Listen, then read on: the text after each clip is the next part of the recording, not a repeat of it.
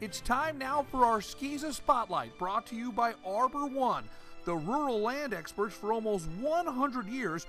Arbor One Farm Credit is in the business of financing farms, recreational property, and homes in the country. Arbor One understands agriculture. And it's time now to meet the Arbor One SCISA Hoop Zone Players of the Year.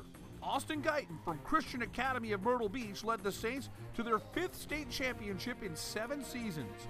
Guyton made first team all region, hitting nearly 80% of his free throw shots, and the 6'4 senior power forward averaged 15 points a game on offense. He's a difficult matchup with his length and wingspan to pressure opposing players and gathered more than seven rebounds a game for head coach Darren Gore's squad. Guyton was the Saints team captain, and he's the WPDE Hoop Zone SCISA Boys Player of the Year.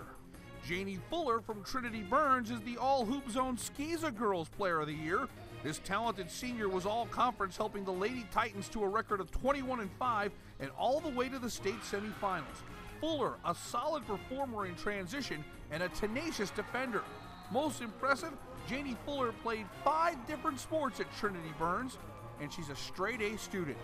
Congratulations once again to Austin Guyton of Myrtle Beach Christian Academy and Janie Fuller from Trinity Byrnes, the Arbor One SCISA Players of the Year.